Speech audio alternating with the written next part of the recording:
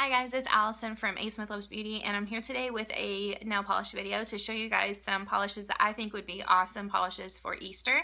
Um, so, you know, I'm not real sure what I'm going to do for my Easter manicure yet, but these are some polishes that I might look at, so I um, wanted to share them with you.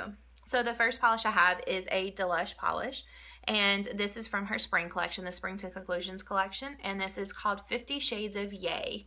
And um, it's a white crelly. And look at all those fun glitters in there. It is such a fun color. Sorry the light from the window is not cooperating with me.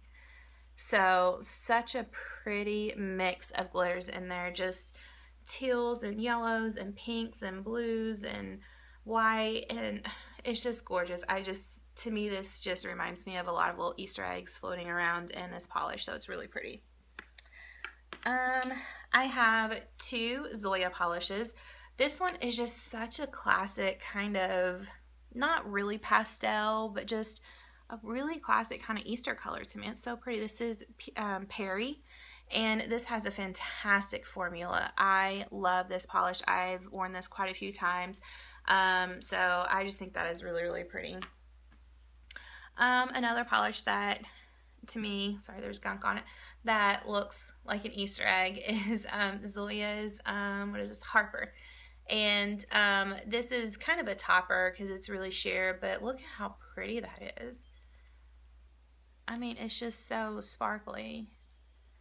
I love it. It's, I don't know, it just screams Easter to me. So um, definitely enjoy that one. And the other two I have are glitter toppers, and they're just really fun, kind of I don't know, polishes that I think would be really pretty for Easter. Um, this first one is called Cotton Candy Fluff, and um, this one is just got a lot of iridescent glitter. See, I just really like this kind of iridescent look for Easter as well. It has lots of iridescent glitters. It has some pink, like little daisy um, shapes in there. It has lots of pink, like shards and diamonds and squares and hexes and um, all kinds of stuff in there. So it just has lots of different pink um, shapes, glitters. But um, this is such a pretty polish. It is so pretty. And this other one, um, I want to say I wore this one on Easter last year with um, a blue polish underneath, but this is a gorgeous topper, and this is called Rainbow. And this is just a bunch of iridescent glitters, and you can put it over any color you want. I think it would be really pretty paired over um, Perrie. I think that this would make a gorgeous, gorgeous Easter manicure.